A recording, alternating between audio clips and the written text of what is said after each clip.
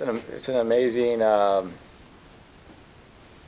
uh, relief, you know, ecstasy. It's, you know, I was having flashbacks to my whole career uh, towards the end of that match. It, it was wild. I was seeing juniors, college. It was it was an incredible moment. I was just trying to stay in the moment, but it, it was impossible. Yeah, yeah, fifth open. It's just there's no words to describe it. Uh, you know, to, to win a slam for the 10th consecutive year, that was kind of in the back of our heads, too.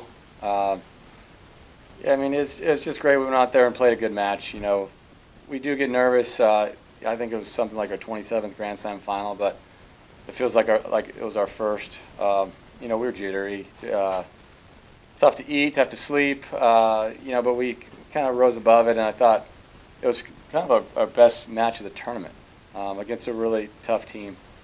Um, I, I don't think we've ever done this kind of Pirouette. dirty dancing swan dive. that was first. That was a first. You felt light as a feather. Yeah.